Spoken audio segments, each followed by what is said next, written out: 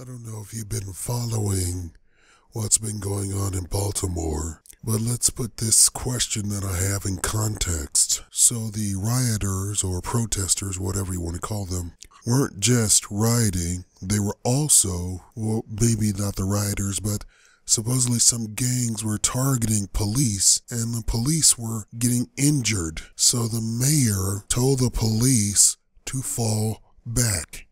Now, in the context of police safety, do you think she was right to tell the police to fall back? That's the question.